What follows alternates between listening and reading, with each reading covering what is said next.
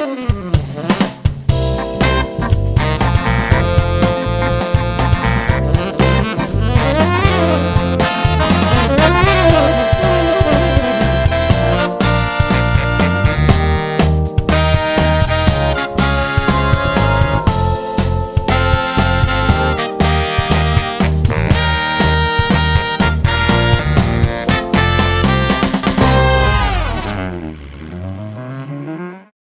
Turning over. Action. Action.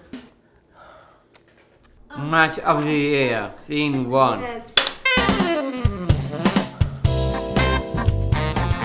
me? Oh, shush! We're trying to film here with professionals. Please Get get out away! Oi! God. Anyway, welcome to Match of the Year. What a goal! Yeah, come on! Beth, what are you talking about? In the back of the net, my son. No, not that sort of match. It's a game of two halves. We're not here about talking about football. Oh, sorry. I won't be needing tea then. No, I suppose not. So, what is it about then? We're here to talk about how to get the best out of our support workers. Oh, like having a good relationship with your support workers. Yes, that's right. Having a good match. I think I get it. Like having the right biscuit to go with a nice cup of tea. Perfect. Like having a good relationship that works well with each other. Like fish and chips, Eggs and bacon. sausages and mash. Beans on toast. Mm, stop it, you're making me hungry. I'm Katie and I employ my own support workers. And I'm Beth, and I too employ my own support workers. I have to choose of who to work with me. We are the employers. There was a time when we didn't have a choice of who to supported us. But things have changed. It's better now. Which is good, but there is still a lot to learn. So now we are going to look at three other people with learning disabilities who employ their own support workers. This is the first match where Phil and his support worker David are walking back from a nice swim. Well, I have had loads of practice. We're about to go to Warthog one day. Yes, that'll be awesome. Mm. Yeah?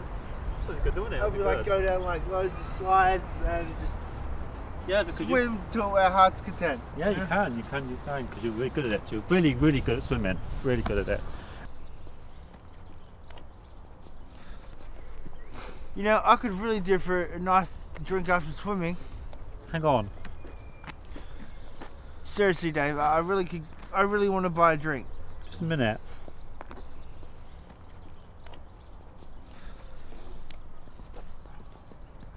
Dave, you listening to me?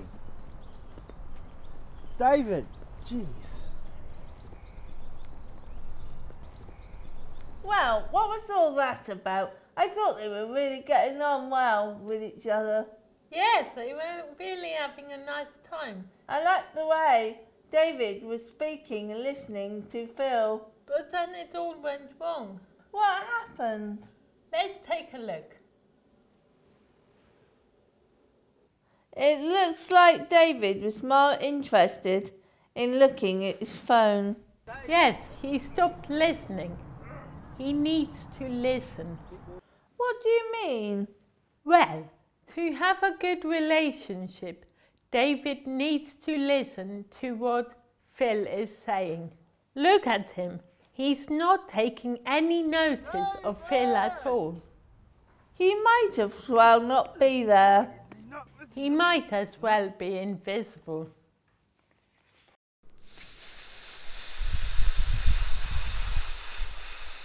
Well, that isn't good support.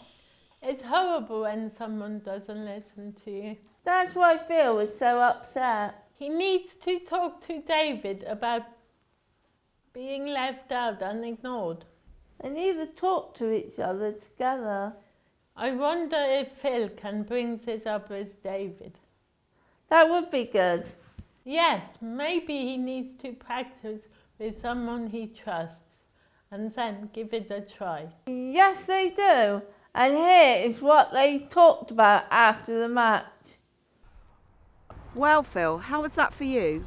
Well, actually, I tried to talk to my support, David, but he actually wasn't listening to me at all. How was that for you? It made me feel really angry. I tried to talk to him, but he wasn't there.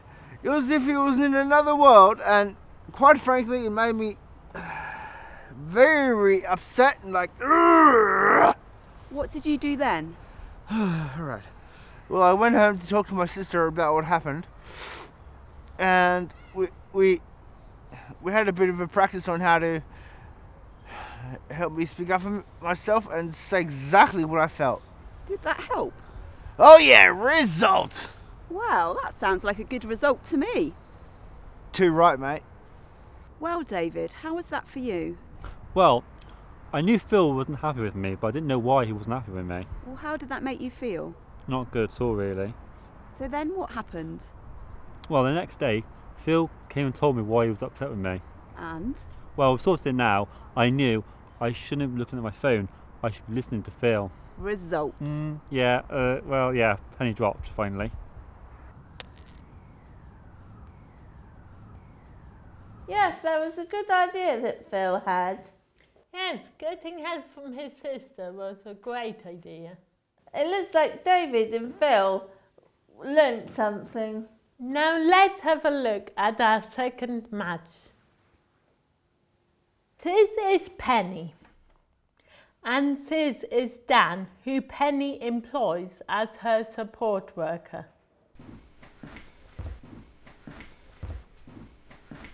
Here we go, pen, a nice hot cup of tea, and uh, biscuits. Thanks, Dan. I want to ask some friends over for a meal on Saturday. Well, that sounds nice. Can you help me plan it, please? Sure, what are you going to cook? Uh, I think spaghetti bolognese.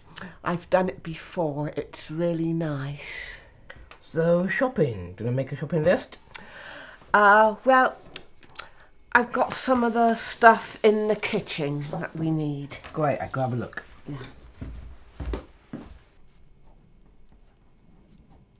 Do we have any tomatoes? I think we saw, I saw some somewhere. Uh, hold on, hold on. Yeah, I think we got some tomatoes. Yes, here we are, some nice tomatoes. Do we have any spaghetti? Let me have a quick look. They have to be somewhere around here. Yep, yep, yep. Spaghetti! Do we have any onions? Let me have a quick look. Crazy onions. Do we have any garlic? Garlic. To keep the vampires at bay, I must say. I hope it does. Do we have any mincemeat? Let me have a look. Mincemeat, mincemeat. Where are you? Mincemeat, meat, meat, mince. Nope. Nope, there's no mincemeat. Oh. Do you want to take down the list? Good. Well, this looks good. I like the way they are together, talking and listening to each other. Herbs, duck cubes. So, uh, what about some pudding? Pudding? Oh, I love ice cream and chocolate sauce. That's the best pudding ever. Ah, delicious. Yeah, maybe not. But I just want another biscuit. Well, I, I don't think you need another biscuit. Mm. Oh, come on. You've got some shopping list to do. I can't be bothered. I don't want to know. I don't care. I'm not interested. Okay. Fair enough.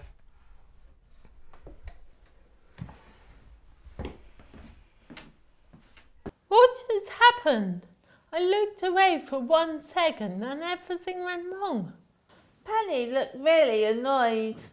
Dan told her not to take another biscuit. What's wrong with that? Didn't she ha- Didn't she Didn't she talk to him about having a healthy eating thing? Yeah, but it's not for Dan to say. Let's look again. See, it's a bit over the top. Pulling the plate away like that.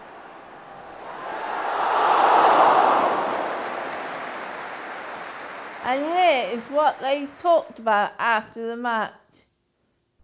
So, Penny, how did that play out for you?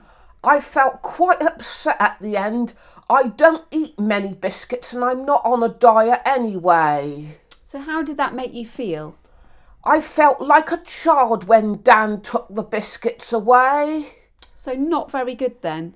Well, it's my house, it's my biscuits, and, and if I choose to want to eat a biscuits, I should do so. And I don't want Dan telling me what I can and cannot do. Well, thank you, Penny. Well, Dan, what did you think about that? Well, me and Penny going really well doing the shopping and the list, but then she got upset. Do you know why? Maybe I told Penny that she better think twice of having a biscuit. Mm, Do you think that was okay to say? Well, maybe not. Like, Penny never asked me to remind her to eat healthy. I think I have gone a, a little bit too far. Well, thank you, Dan. Back to the studio. I wonder if Penny will say how she feels to Dan. Yeah, I don't think he will be surprised. I think I think Dan got it at the end. All this talk about biscuits, I could do with a pastry. Good idea. Paul, can you bring me a pastry, please? Thank you.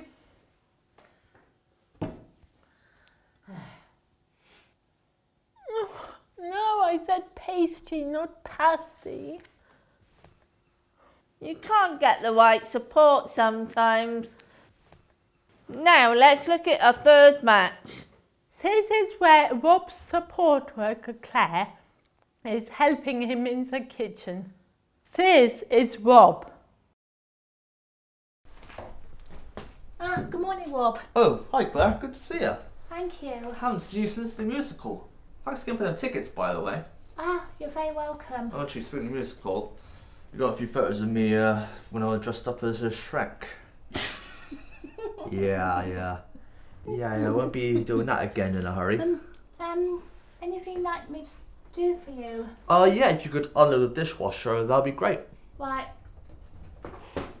You want a cup of tea? And yes, I will have one. Yeah.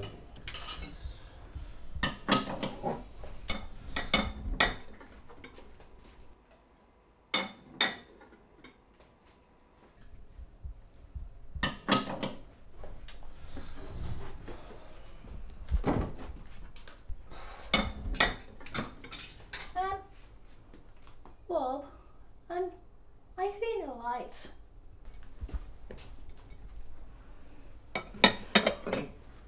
Fine.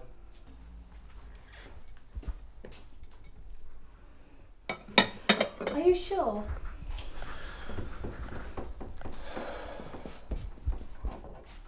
Rob, I'm finished now. I'm going, I'm going to the lounge. Hmm. Well, here we go again. Two people getting on well, then something goes wrong. It's like Rob was having a hard time talking to Claire. I'm not sure what Claire was doing to upset Rob. Let's have a look. I'm going to the lounge. Hmm.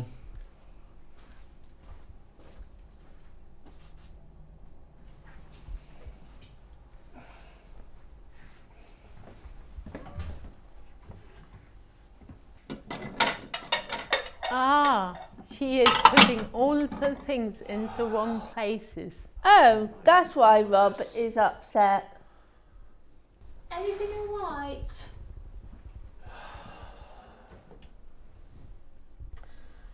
How am I gonna deal with this? Well, he he's he isn't really alright. He needs to talk to her. Yeah, good. Claire noticed that something was wrong.